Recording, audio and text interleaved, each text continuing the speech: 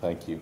It, it indeed is a pleasure to be here. And Claire, thank you for that very kind uh, introduction. Uh, it's always a pleasure to be back in London, um, a place that uh, many years ago I spent almost a year as a student when I was studying music, not medicine, before I went to medical school. Uh, and uh, have very, very fond memories of all the little nooks and crannies in and around London. Um, I, would like to today talk about genetic susceptibility primarily, and it has been a very exciting time, and I think some of the excitement has come with good, healthy competition, as Claire alluded to, and then collaboration. I think the best thing you can do in this world, I think that we've learned from at least this, of genetic susceptibility that still I think the somatic uh, sequencers have yet to truly embrace, which is the sharing and the collaborative nature of the data. And I'll come back to that towards the end of my talk. But I also just wanted to first say to everyone, happy Groundhog Day. Now, I know I'm in the UK. Guy Fawkes Day is very special here. In the US, almost no one knows what it's about. Who knows what Groundhog Day is here besides the Bill Murray movie, which is a great movie? It's a very important time in which you take stock of what the winter looks like. Punxsutawney Phil, which is photographed here, comes up in this tiny little town in Pennsylvania, and all of America stops to see whether he sees his shadow or not. And that tells us whether there's a lot more or less winter to come. And there was a little bit of a shadow, but not much of one, which is good considering when I left for Europe 10 days ago, there was 30 inches of snow on the ground, and Washington, D.C. was completely shut down. But we always say to each other today, Happy Groundhog Day, and so I thought I would greet you all with a Happy Groundhog Day. But on a more serious note, let's just stop for a minute and think about the etiology of cancer. Doll and Peto, back in the early 80s, had published their seminal study trying to really disentangle the different causes of cancer.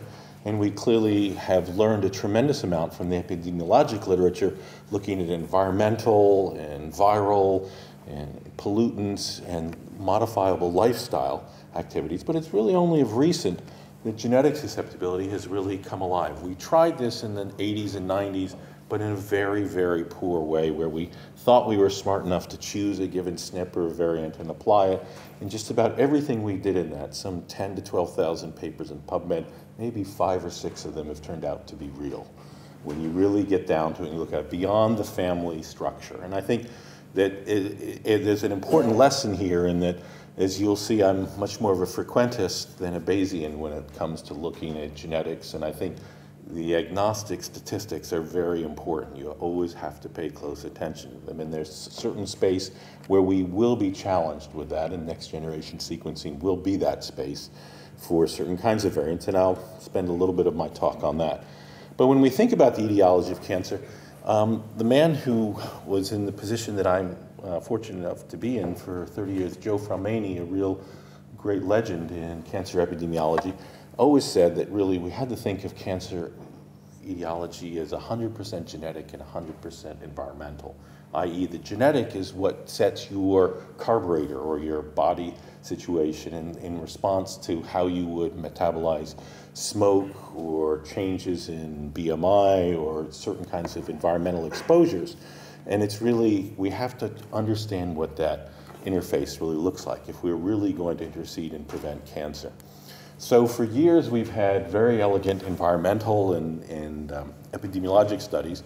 And since really the development of a map of the genome and then the subsequent annotation, which was really an international effort, and it wasn't an American effort alone, although it's often represented as that, critical things happened here in the UK, just as critical as in the United States And I always feel it's important to recognize that because there can be a little bit of Americanism. Uh, you know, we can get uh, a little beyond our, our britches, so to speak. But I think that when we look at what that genome has given us, it's now given us the opportunity to look at variation in all of these different spaces, from rare mutations to single nucleotide polymorphisms to chromosomal structures and the like, and then this world of epigenetics to try and better understand what the etiology of cancer is. And then there's the recent Tomasetti and Vogelstein argument that it's chance, the stochastic op, you know, op opportunity for stem cells to go awry. An interesting hypothesis, highly flawed in many ways, didn't take into account the environmental and and geographic differences that we see in some cancers as much as 10 to 12 fold when you go from one part of the world to the next. So the assumptions for the precise uh, estimates they had, I think, are faulty, but the idea is still a very arresting and an important one that I think we have to keep uh, stock of, and I'll come back to that in the third part of my talk. So really, today I'm going to primarily talk about one of the four cancer spaces, okay? I like to think of first dividing the germline and the somatic. Germline, i.e. what you're born with. We like to consider it stable, but I'm going to show you a lot of information that unfortunately as we age, our genomes are falling apart. And this is really a very scary thing, and next generation sequencing is showing this in spades.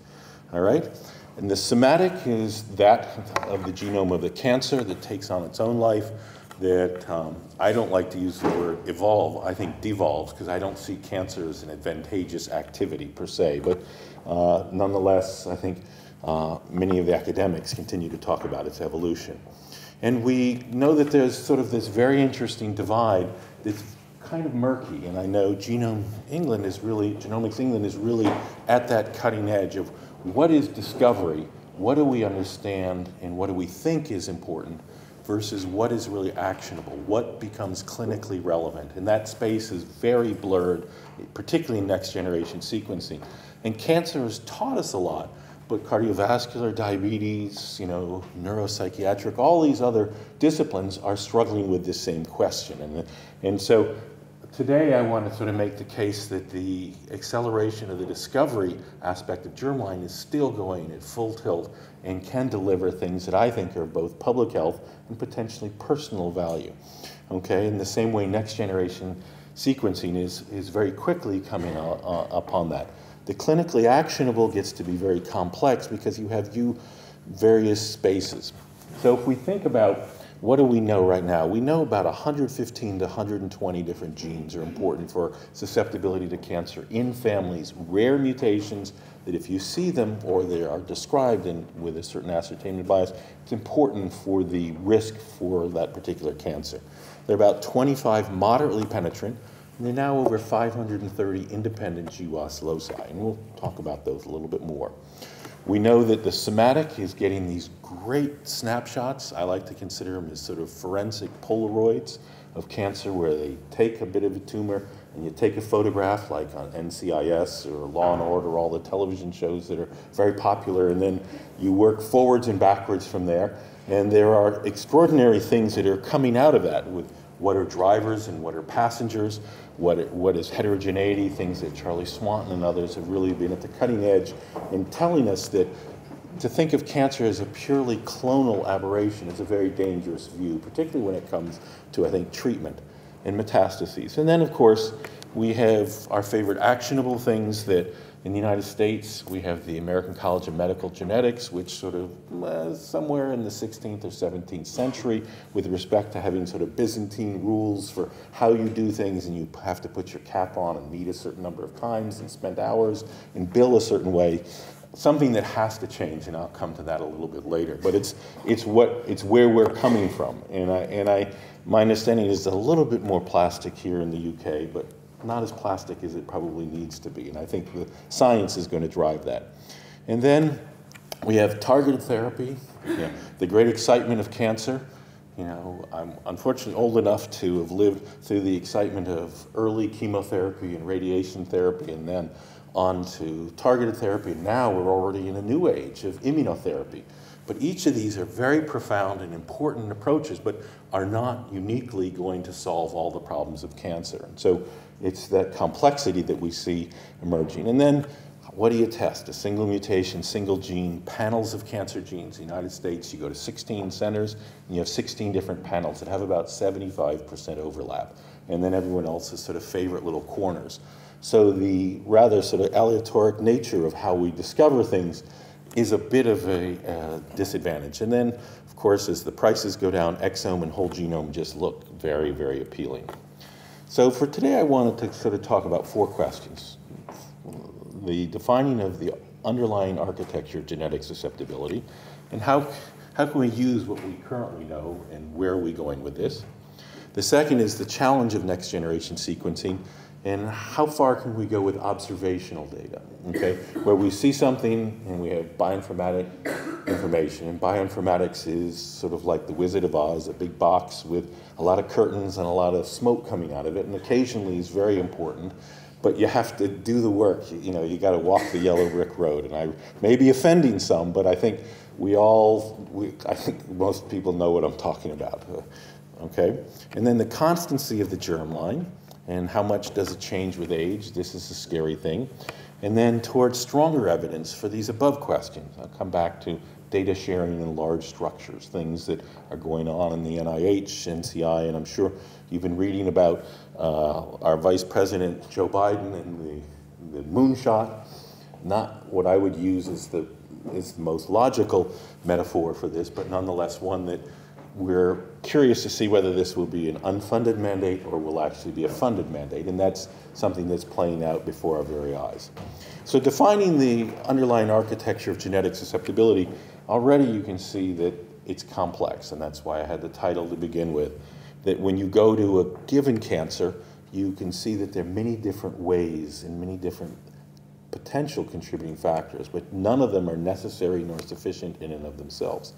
So we know that there's been evidence for heritability for cancer. You go back to the mid 1800s, 1866, the great French neurobiologist Paul Le Broca described, and it's a very uh, prescient paper before we really had the term genetics, his own family, where his wife, daughters, nieces, aunts all developed breast cancer. They clearly had a BRCA mutation, but um, his bones are not accessible. I know I have a very dear French colleague who had approached wanting to put this to rest and say, gee, does the Broca family have a BRCA mutation? And too many generations down, they couldn't get it you know, to the point where they wanted to. So no one has confirmed that, but it sure looks like an Ashkenazi-like mutation, you know, highly penetrating that setting. And then we had lots of twin and family and sibling studies, which went for about 100 years. And then actually Joe Fraumeni made a very important observation with Fred Li that cancers could cluster in families, but they didn't have to be the same cancer.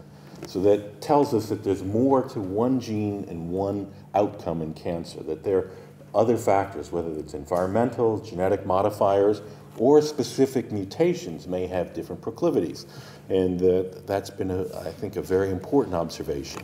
Around that time, Al Knudson made the ever important observation of the two-hit hypothesis for a disease like retinoblastoma, where you could have an inborn error in one of your two alleles of the retinoblastoma gene, which puts you at much greater risk for those spontaneous mutations that were taking place in the retina of young children.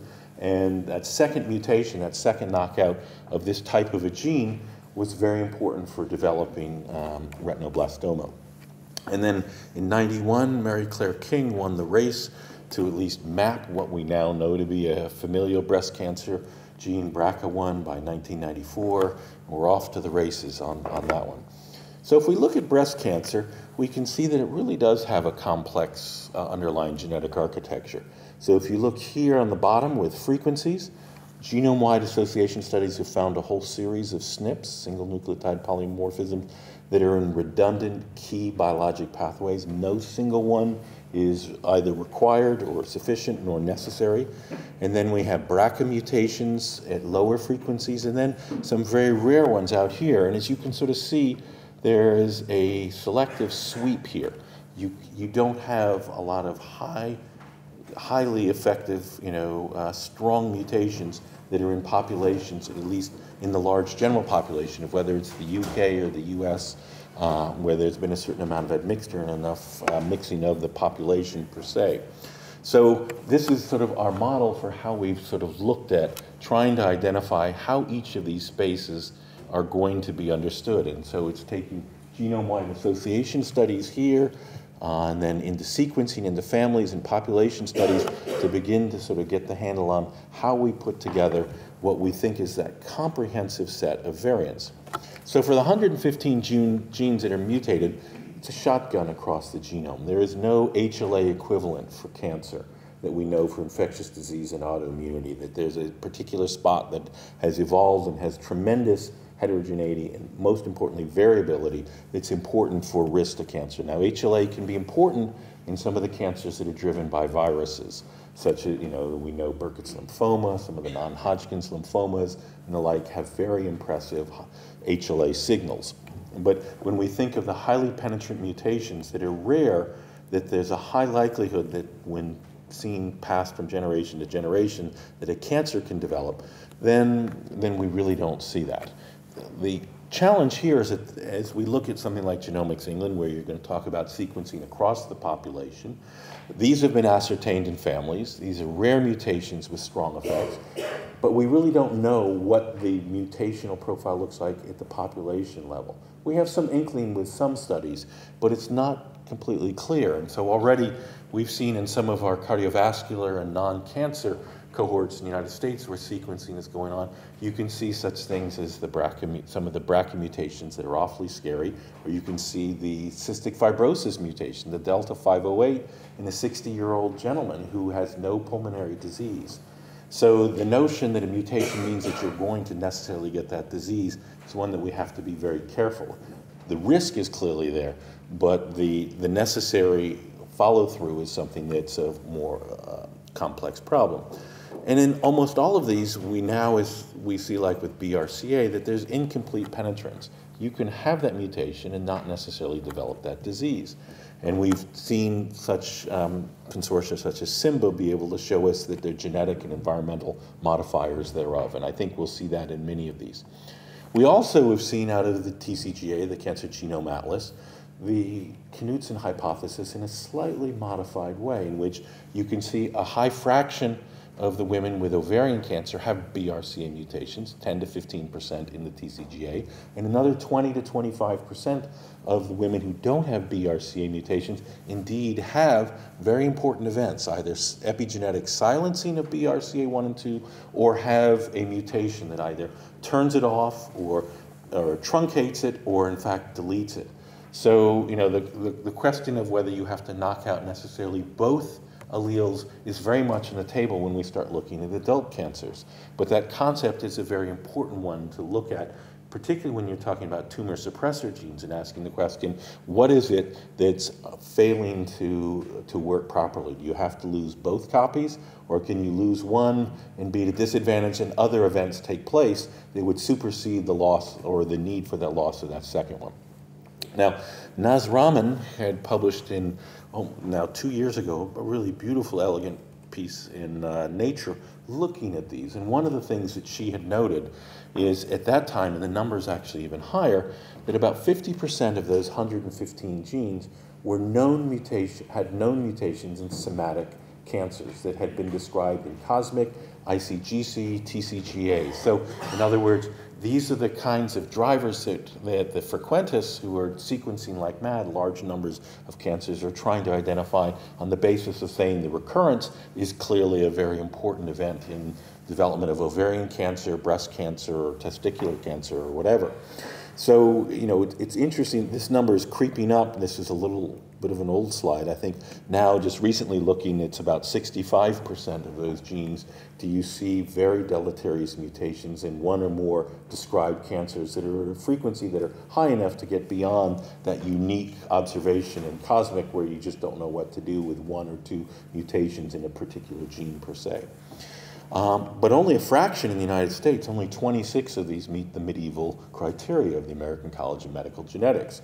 So, you know, in this day and age, those who run medical genetics clinics in cancer have, you know, literally 80% they don't have a formal recommendation of what to say. So you're really in that position of doing your best and saying, our current knowledge is such and such, we are worried about. We think that there is a substantial risk for subsequent members of a family and that decisions have to be made along those lines. At the same time, we have to be careful not to transition from one to the next. Now, uh, I imagine you've probably seen a little bit here in the UK, but in the United States, we've had a number of, of reports, and particularly from some of my colleagues who are cancer geneticists uh, in particularly high profile institutions, where a woman would have her genome sequenced, find a PALB2 or BARD1 mutation that has maybe a relative or at best an absolute risk of two or two and a half fold increase risk for breast cancer, but is being recommended by their home physician to have double mastectomy and or oophorectomy because they're making that dangerous transition saying this is like BRCA1, BRCA2, so we should therefore treat or prevent in that setting. And so it's, this is part of the danger of where and how this information is either being interpreted or, in my mind, sometimes misinterpreted. So that's on one extreme of the genetic architecture. On the other is the genome-wide association world, where we have hundreds to thousands to tens of thousands of individuals that we've scanned. And we now have, at this time, about five, not about, 530 known regions, independent regions that have been identified in different cancers, 29 different cancers. Prostate and breast, because of the sheer volume that can be accumulated in these large international consortium like BCAC that Doug Easton has led and, and the like, have really been able to make tremendous strides. And I think it's really very exciting. And at the same time, other cancers like testicular are sort of our, our best, they're our poster child. They have the highest heritability every time we scan another 10 cases, we get a new hit, right, Claire? It's just, it's astounding. But the heritability is different between the different kinds of cancers, okay? And how and in what way we define them. We're still very early in this age of trying to lay down the tracks of what we think are the common variants in that map that I showed before. We'll come back to. What's interesting is virtually none of these track with outcome. So they are not terrific for prognosis. Very few of them, two or three of them maybe have met a criteria for that at least suggesting that when you look at these perturbations of the pathways that these are, because these are usually regulatory events, what's happening is you're looking at things that are important for inciting or the etiology of the cancer, but not necessarily the sustaining and the capacity of the cancer to respond to interventions, whether it's surgery or radiation or chemotherapy, targeted therapy, or immunotherapy. So we really haven't seen the common variants very well established is a clinical outcome per se. In fact, anyone that says that, I'd be very suspect because most of the reports have died on the vine of attempted uh, replication. So when we look at these, the difference with the GWAS is we see a marker by using genome-wide association scans, and then we have to dig down deep and ask the question, does correlation suggest or imply causation? Not necessarily. We have to take each one of these and map them specifically to try and understand exactly what we think is going on. Now here, in linkage and GWAS, we have indirect associations. The beauty and also I think the daunting challenge of next generation sequencing is you see the variants right there in front of you and how you interpret them. Whether you think they are truly deleterious or not is a very difficult determination. And we have very little evidence for most everything that we see, as ugly as they may look in polyphen or any number of bioinformatic pipelines, the precision of those pipelines is still relatively rough. And so to jump to a clinical decision, in my mind, we have to do under very careful circumstances. So when we've spent a lot of time mapping GWAS hits, we've you know, uh, as a community, maybe map 25 of them or so to really understand what that basic biology, and that's one of the things that's been very interesting is you have the world of geneticists and epidemiologists working together to point towards biology, but they don't, neither of those groups really understand the biology. And it's working with the laboratory scientists to begin to see how and in what way there are certain perturbations that may be druggable, they may be targetable, they may be very revealing with respect to understanding important pathways in cancer. So I'm going to show you here very quickly an example where this is the one only example that I know of in the cancer GWAS that's actually led to a clinical trial that's ongoing right now. So uh, a terrific young woman in our program, Mila Prokunina Olsson, took one of the bladder cancer hits, fine map that means she looked at all the correlated variants, figured out which ones were most promising uh, by imputation and bioinformatics, did the functional studies to show that the risk allele changed the mRNA expression because it sat right in the promoter, did all of the luciferase, electromobility shift assays, and saw the immunohistochemistry, were able to look at the differences in expression when you pulled out bladder cancer cells, looked at bladder cancer lines that had differences in genotypes. Very elegant work. And it really pointed towards this uh, prostate stem cell antigen. That was the name given to it, but it's actually been more important in pancreatic cancer and liver cancer. And what's interesting was that this SNP really does change the expression of the PSCA. for which there was a humanized antibody that was struggling in the world of pancreatic and liver cancer. So when this observation was made, she talked to one of the clinicians in the National Cancer Institute's intramural clinical program, and they got focused on this, and now there's actually an anti-PSC antibody trial of the humanized antibody going forward right now, specifically looking at bladder cancer, for which this really looks to be far more interesting.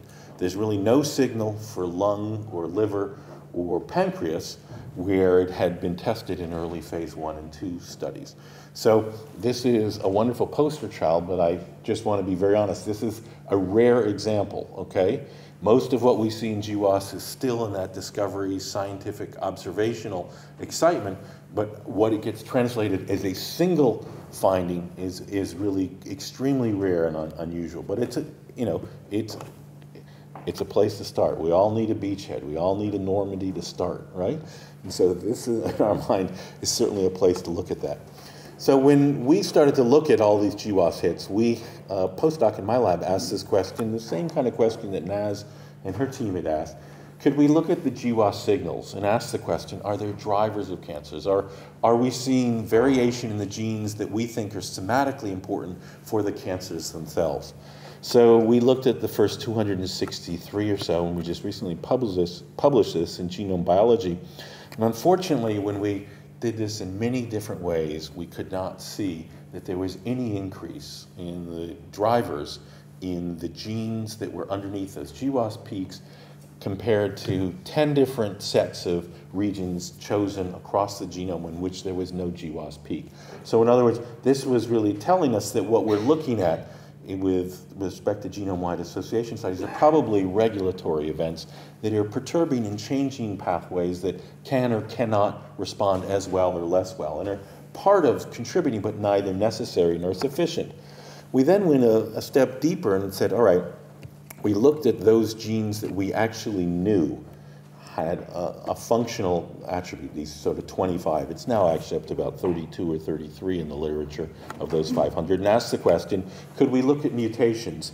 And do a z-score for mutational load? And ask the question, are there still a large subset of the genes that we know of that are important and, and implicated almost in all cases in a regulatory fashion, and we can't see that.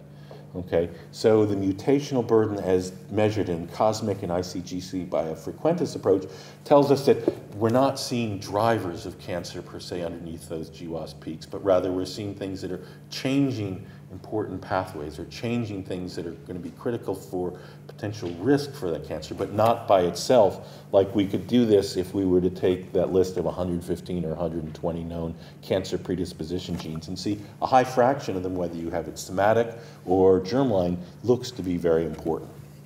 So as you can see, this architecture of genetic susceptibility sort of has these spaces of, up there, they're very uh, you know, the damaging drivers that we see in P53 and BRCA1 and the like, the polygenic models of SNPs and SNPs and SNPs, and the perturbations of key pathways. So we then, uh, particularly with Montse Garcia Closas, who we're very pleased has come back to join us as our deputy director, well known to many, was at ICR for years, started to ask this question, if you looked at sets of SNPs, can we understand things that would be of public health value? So we asked this question in bladder cancer very well-known cancer has a strong driving factor of tobacco. 40 to 50% of the attributable risk of bladder cancer is associated, you know, in the Doll and Peto kind of model, is related to tobacco. So what we asked the question is if we could look at the best SNPs that we had that came out of that, could we take this from addressing or estimating the relative risk that we see in our studies and say, all right, at a population level, can we use this in an absolute risk setting? Okay? So we did this thought experiment that if we had 100,000 smokers, sorry, if you can see the display here, sorry, it's hard to turn back there and see how big a difference there is between those individuals who were never smokers versus those who were currently smoking. Okay? So we did this thought experiment. That if you had 100,000 smokers with high genetic, if you chipped them in, or if you did SNPs and just looked at those 12 SNPs, what would happen if you were very effective in eliminating smoking in those individuals over a given period of time? How many cancers would you eliminate? In our US population, you'd eliminate 5,400 bladder cancer. But if you did this on the low end of the scheme, you would only be eliminating some 1,500. As you can see, more than almost a fourfold difference in, with respect to the absolute effect of the same measure being applied to a given set of individuals. And this is a, the space that we think we're, we're moving into, which is more sort of precision prevention as focused on uh, profiles of individuals. And I think that this notion of precision prevention, I'll come back to at the very end, where we could see modification based on both genetics and lifestyle potentially decreasing risk. And this is where the common variants may actually be applicable. So with public health genomics, we know prediction is difficult, especially of the future. In the United States, this was supposedly first said by a famous baseball player. I didn't, couldn't find a cricketer who said this, but I'm sure there must have been somebody who held up the ashes who was not very smart who would say something like this, okay? Although I know cricket's a gentleman's sport and they're all well educated. I've been to Lords, I realize that. But uh, baseball is more of a blue collar sport, and I like baseball more in the United States. And then we had Dan Quayle, who said this, you know, not the smartest member to be in the White House in the United States. But it was really Niels Bohr who was very pressing and saying we have to be really careful about how and in what way we apply our prediction models. So if we were to look at the SNPs and project in 2016, looking at an area under the curve for a ROC curve, you could see that the number of variants that we're testing and the number of people that we've discovered in allow us to move this curve to just a certain point. We can't reach that 80%. This is a place where a lot of clinicians, depending on what the trade-off is, you know, what the outcomes are, are a bit uncomfortable to say this would be applicable for an individual choice of what you would say to a person in a room per se to do something or not to do something. But it may not be such an unwise thing to think about the population. If you're at the high end or the low end of that, who should be on tamoxifen, who should have mammography at an earlier or later age. So we've gone a bit deeper in looking at the genetic predisposition to breast cancer, and this is a different one of these maps showing that same sort of sweep here, where we now know with you know the common SNPs uh, that we can explain some 30% of the excess familial risk together with the mutations, we're almost approaching 50% of the excess familial risk. So in a, in a family clinic, this becomes very, very important. We also know that this is important with respect to the age at which we're asking this, because what's the most profound and important risk factor for our common cancers? It's age, all right? So the question is when and where and how do we apply this? So Montse and uh, Nilanjan Chatterjee started looking at traditional factors that we know have a certain lifetime risk of breast cancer. And then they started to superimpose genetics. And you can see that the curve didn't change that much, but it changed some. And where we're really interested in is where, what do the edges look like here? And if you put them together, the question is, are you able to now identify some 15, 20% of the women who are at the highest risk, as I suggested that you may look at in the bladder cancer paradigm and say, those are the people who should not smoke to be able to eliminate the possible like, you know, risk of developing bladder cancer per se at an absolute level. So if we're doing this in breast cancer, we know that they're non-modifiable risk factors, very well established by epidemiologic studies, and we know that they're modifiable ones. But if you start looking at the distribution of these risk factors in the context of the genetics, are we wise to start thinking about the top 10, 20, or 30% asking questions of going back here to weight, alcohol consumption, smoking, menopause, hormonal regulation thereof? And when you think of the potential absolute risk estimates that you would see for breast cancer or for prostate cancer, these SNPs are showing something that it's hard to turn your head away and say, at some point should we be testing this? I realize for Genomics England, where you have your NGS machines going, there still may be pennies on the pound right now to think about, from a public health point of view, do you use SNPs in, in very selected ways? These are questions we have to study. Going back to my very first slide there of those four spaces, I don't mean to jump from discovery to validation, you know, to implementation without a careful thought of how we validate in doing that. But I think the time is clearly ripe to do that. So, you know, this is a question of where you look at this, particularly in women in different risk strata, reaching those thresholds at different ages. So, we in the United States, we struggle over mammography. We may be needing to think about it in a different way with genetics. Uh, you know, would this be something that some fraction of women at an earlier age would be more amenable to that kind of analyses? So this really does bring the tension of the utility for individual and public health. Now, I realize I may get screamed at in the questions, but until we really sequence some 100 to 200 million individuals, it's going to be really hard to be purely agnostic about this, okay? So how do we address using our current data sets? And this is where uh, I would submit we have to think hard, and we're considering this in the US, of using the SNPs in either prostate or breast cancer to look at questions that have been very dirty, PSA testing and mammography, for one, okay? So these are the kinds of things that we're trying to formulate as studies to go forward. So let me go to the second question, uh, the challenge of next generation sequencing. As we know, we sort of have this new wild frontier of you just sequence and you see these scary looking mutations in the germline. I'm talking about germline only for right now. And what do you do with that? So here's a study that we did and published not so long ago that's really scared us. I'm trained as a pediatric oncologist. We had done a GWAS of osteosarcoma, the most common bone tumor in children, and we said, all right, let's look at P53, which we know something about terms of a small fraction having Li-Fraumeni mutations or Rothmund-Thomson syndrome. We wanted to know at a population level, this is coming through all the clinics in the, in the United States, Canada, um, England, actually the UK, there were like 120 patients included in this, as well as in Spain, where they had not come through family, you know, familial cancer type of, of, of screening clinics. And here's what we saw. When we did we used you know, the ion torrent, or the proton actually, with targeted sequencing, very high depth. We could see mutations in all of the younger patients, but nobody 30 years and older, which is interesting. There is a literature of osteosarcoma in older individuals with some autoimmune diseases and, and other exposures per se. When, when we looked more closely, we could see that the Li-Fraumeni known mutations and then those that are rare exonic that are very scary, but bioinformatically we have to be very cautious about.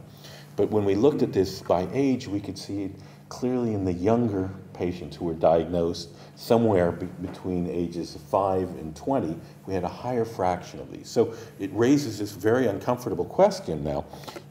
What do we do with this? Do we go right into the clinic? Should the pediatric oncology clinics in the United States be doing P53 testing on all kids diagnosed? We propose that, and we're doing that as a research study right now. But again, we're doing this in, and now at whole exome right now to be able to ask the question of other mutations we know that are important in, in pediatrics.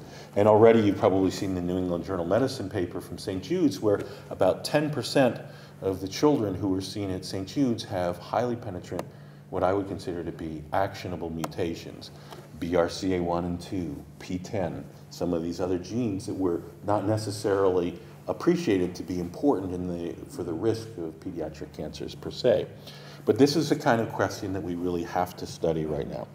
So to do this, we have to work with, with bioinformatics. So the question is, are our genome bioinformatics friends or foe? Well, I think they're very promising. I also think it's very haunting. And in my mind, it's dangerous at the clinical level of moving and saying, I see this, so therefore I am going to act upon this. And this is where the validation is required, and preferably in the laboratory, having model systems and working with collaborators to be able to understand what does this really mean. What it means for us is that there is a lag from the time in which we identify this to how we report it. Do we say we have something of interest we're going to get back to you in a couple months when we've screened or looked at it in a zebrafish or done a CRISPR or, or, you know any number of things. Those are very expensive models that I reeled off, or there may be in vitro ways of trying to get at this. But this is the kind of question that I think for the clinical implementation we have to think really hard about how and in what way we line up those laboratory observations that are going to go along with what we see unless we were to sequence 200 million individuals, and the frequentists in us would say, oh yes, we can see this, we can follow, and then we can do the more classical, you know, uh, segregation analyses, et cetera. We do know that certainly in the United States, and I know this is going on here in the UK, less so, that there's an awful lot of sequencing of tumors without the normal being done. We have this group called Foundation Medicine, who legally won't report the germline but you can look at the report, and sometimes you can see between the lines, and sometimes you can't. So this is a, to me, this is really a double-edged, a dangerous position to be in. What do we do with that information? I mean, you know, the higher your coverage, the greater your likelihood of being able to look at allelic fractions and identify, indeed, are there germline mutations that you would want to know about, such as BRCA1, BRCA2, PTEN, maybe PALB2, you know, we're, we're moving in that direction. But some of the other ones that are important for some of the, you know, the Lynch syndromes and the like. So I think that um, this is a space in which we really have to think very hard about utilizing this information for research purposes. And if you, you probably saw this paper at the end of last year from, from Sloan Kettering in their impact study where they were indeed doing this, doing primarily somatic sequencing, they could see things that looked very similar to what we saw in the pediatric uh, studies from St. Jude's, and now we're, we're doing one to confirm that, and several other groups are doing that, that some 10 to 15 percent of those individuals in their impact study. These are advanced cases that are getting targeted therapy for the, uh, they're getting sequencing to try and find targets that could then be, you know, they could bring known or investigational drugs to. 10 to 15% have CPG or these cancer predisposition gene mutations. Not all of them are necessarily accepted as mutations to act on, but many of them, a high fraction, are very concerning. But interestingly enough, less than 50% match the disease that you expect. So BR, BRCA1 mutations with lung cancer, BRCA1 mutations with brain tumors, things that aren't part of our classical ascertained uh, pedigrees that we think about the, the likelihood that this cancer is caused by a particular mutation per se. And that's a mindset, I think, that as you go forward with Genomics England, you're going to be encountering this. And I think we have to really think very hard how we're going to use this information, reflecting it against what's in the literature out there. So it's a, it's a real challenge. I don't know how to solve it, but it's something that we're going to be, I think, hitting our heads against on a daily basis as our NGS machines go faster and faster. So I really think that the pushing the boundaries of genetic testing is what we have to think about, where our data generation is outstripping our data interpretation at this time. Genetic counselors are undergoing tr transformational role in the United States. You know, we're hoping that they're going to go from the Middle Ages to the Enlightenment period and then somewhere into the early 20th century very soon. I love genetic counselors, but it's a, it's a very formalized world that I think is being shattered by the kinds of things that we see. And here's where in the United States it's a very unpopular notion shifting to the practitioner the discussion of this. This is something that would be very difficult as well in the UK, having the GP talk about these mutations. Uh, it, it, this is something that educationally now is difficult, but you have a young generation, 5, 10, 15 years from now, who are coming out of medical school and training who may be more amenable to this because they may be on 23andMe themselves, figuring out that they're 19% Finnish and 27% Westcott and, and 27% Northumberland or whatever that you know the recreational genomics is allowing people to do. And my biggest fear is that we academics will become Google consultants, that will no longer work for St. Bart's or Harvard, but will work for Google, who will have these massive databases be trawling through and telling us that, well, why don't you interpret these particularly difficult ones for us? But we have the paradigms that can tell you the Ashkenazi mutations. And this really is going to be important to have the evidence-based recommendations on big data, which I'll come to at the very end. So I would say to end this part of the talk, we want, really have to explain susceptibility. I think if we were to stop doing our GWAS, if we were to stop doing our, our discovery, we would be doing ourselves a real disservice because I think we can see on the horizon real implications and use for these. And it really requires the forging of international collaborations to share data and understanding the environment and genetic modifiers. So this is where the epidemiologists really need to be part of this conversation. We've got the clinicians drawn into genomics, but we, what the epidemiologists are not as drawn in as I think they need to be to try and understand those etiologic questions that may be very important as we think of prevention. So the constancy of the genome. So after eight years of GWAS, we looked at 125,000 samples. We kept seeing these really odd chromosomes that we would throw out but we saw them with enough regularity. These are the germline that we said, hmm, there's something here. So we could see that there are copy neutral, there are mosaic gains, mosaic loss. And so we I think, gotten to this point that we can characterize very large, ugly, somatic alterations that are mosaic, that a fraction of circulating blood or buccal cells have these mosaic events, and they can be tolerated in the genome to a certain point. And the question is, are these harbingers of a cancer to come, or could these be just markers of the general senescence and the loss of stability of one's genome? But that in itself could be a risk for cancer. It may not be that you're getting the specific mutation that you see that somebody eventually develops for lung cancer or bladder cancer. But this is a question that we have to start to look at. And first, I think, really emerged from the GWAS.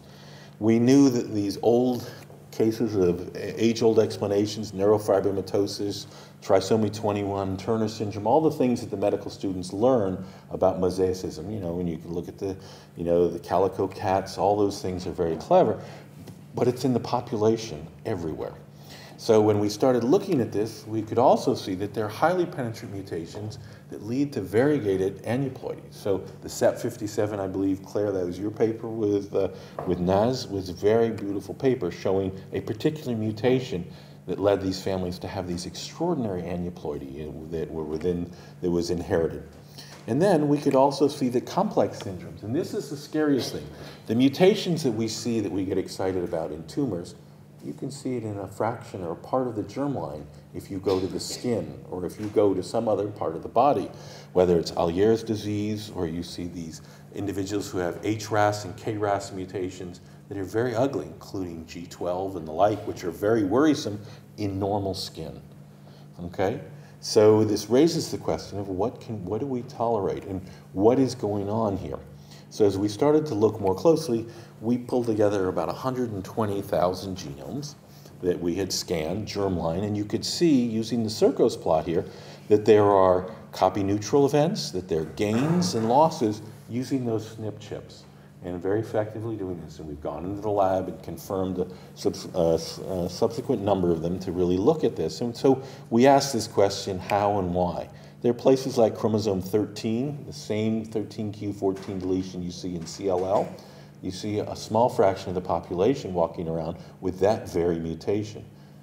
But doesn't necessarily mean that everyone's going to go on to develop CLL, and it's not necessarily a harbinger of MGUS per se, but it is an interesting question that needs to be looked at in prospective studies, chromosome 20 mutations as well. We see that these decrease with size, so we're seeing just sort of the tip of uh, side of the uh, artifact of the iceberg.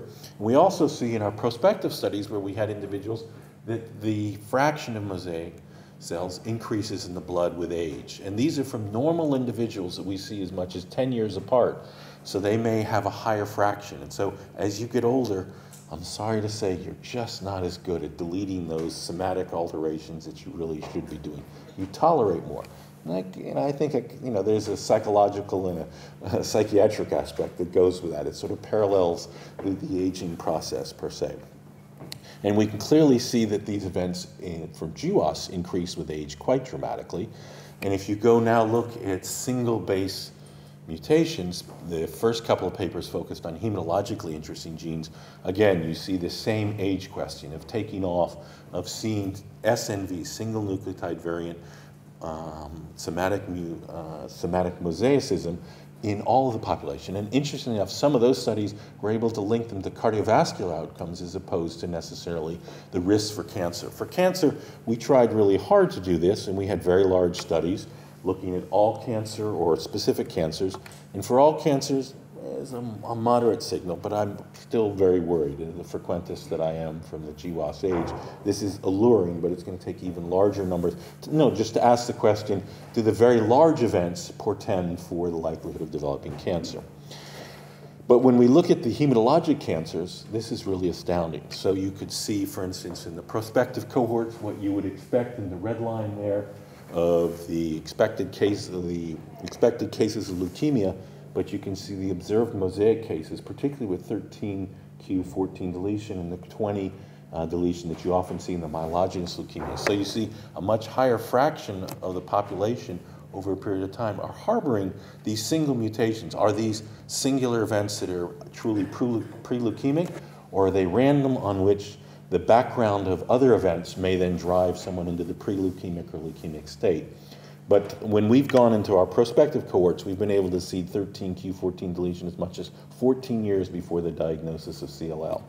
So it does raise this question if we're going to be doing GWAS and or sequencing in individuals of younger age, 20 to 40, what are we going to do with that information when we see these kinds of mosaics? That's a very important question in my mind. I, I don't know the answer, but we are going to see it. And I think when you do Genomics England and you sequence the younger individuals, you're going to be faced with these kinds of questions that you're going to have to be modeling to look carefully at.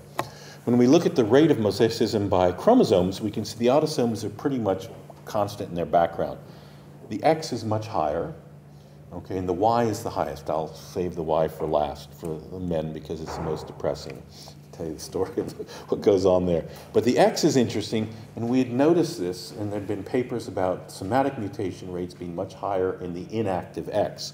So we then went and looked at a subset of the women who we saw this, and we could see that their X chromosomes are inactive, the ones that, in which the mosaicism is taking place, by using the 450 methyl chip. But interestingly, about 10% of the mosaicism was affecting the active X, which is a real challenge to try and understand how that really is going on. And now, I was just in France, and there's some very interesting studies um, from the Curie really suggesting that lyonization and activation, activation may be more facile between the chromosomes over the course of a woman's lifetime. Now, the Y chromosome is more common, and the Swedes had suggested that it was a consequence of aging and smoking, but also associated with cancer risk. We can't see that in studies that are seven to eight fold larger and longer cohort observations, but you can see the age 25 to 30 percent of men lose their Y chromosome or a mosaic for a large fraction of it, which tells us that it's probably not that important over time. I realize most of the women are smiling and saying, yes, we've already known that. When I showed my wife's not in science, she said, yeah, well, why did you have to spend all this money to show that? We've certainly known that. But what's interesting about the Y is we then did a GWAS and we could find a very interesting gene that's critical in hematopoietic malignancy translocations and particularly the clicking together translocations, very strong hit. So the question is, are there parts of the genome that make you more or less susceptible to having mosaic events? And so with Y, we can clearly see that. So for genetic mosaicism, these clonal somatic events, we can clearly see all the chromosomes are affected, and there's a spectrum of events. It seems to be an inverse relationship between size and frequency. The timing is really the interesting hypothesis. Are these early events that are below a certain threshold that with age you then let them be uncapped, so to speak? Or are these because of errors in DNA repair and stability at a later age where you start to accumulate these and then some become actually set in the population? I have no idea. The mouse people have been trying to model this for years and argue vociferous, vociferously over this with no real clarity to that. So I think that the aging genome, the implications for cancer studies are important in thinking about germline because you can be fooled with the degree of mosaicism, the insights into genomics instability late and early events, and really, as I mentioned before, is this a matter of the event being specific for a cancer mutation or is this more likely that there are events that are telling us that you have a certain background events on which other stochastic somatic events may come and become drivers to drive a particular cancer. And that's a question that we really have to look at. So when we see this tip of this iceberg, how we define that? And I think things like Genomics England are going to be incredibly important in looking at that next generation sequencing data, which has high enough coverage to really ask some of these questions. So really the last question I just wanted to touch on for two or three minutes, if that's all right, is the sharing of data. As you know, the Institute of Medicine had a report on precision medicine, envisioned a knowledge network of disease.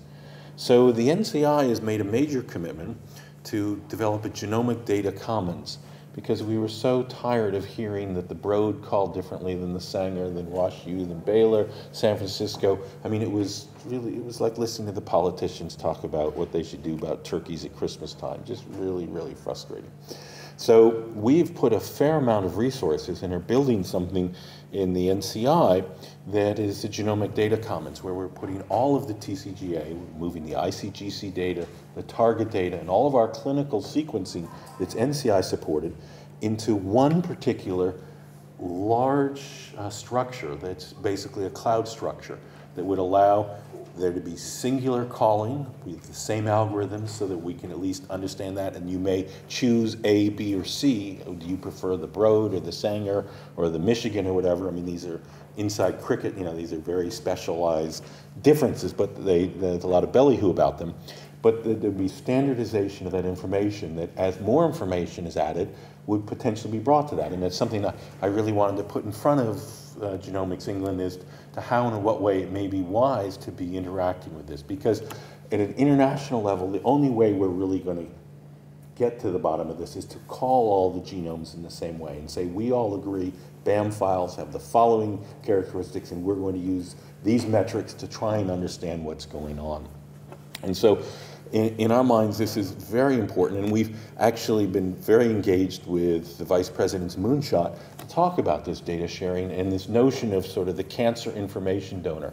As many Americans are paying their own dollars to have their, their genome sequenced and to move this information into this place and make this available. So I think that's really a, a, a crucial thing to, to go forward. So um, I think I'm going to skip the last couple of slides because I see I am one minute from 6.30 and I know we need a few questions before we go for drinks. I was going to talk about the BRCA challenge with Sir John Burn, but I know Naz and others have spoken, I believe, in this forum about that. So let me just slip ahead. I really want to be sure I give thanks to all the wonderful people and particularly say something about, in my mind, there's a lot of excitement about precision medicine, which is the characterization of disease once it occurs or peri-occurrence. But I think in essence, genomics may actually be even more powerful in the precision prevention. Because if we can understand what and how the susceptibility, for instance, to cancer or diabetes, to heart disease, and see that information at a much earlier time, we may be able to make substantial differences in the modifiable risks and change the face of many of the cancers that we see and or uh, potentially eliminate them. So I think that's a very important concept. So I'd like to particularly acknowledge Joe Fraumeni and uh, Lou Staudt, who have really been wonderful, and certainly Harold Varmus, who's not up there, but has been was as the NCI director extraordinarily supportive and, and thoughtful in thinking about how and in what ways to address this. So why don't I stop there and see if there are any questions? And thank you for your attention.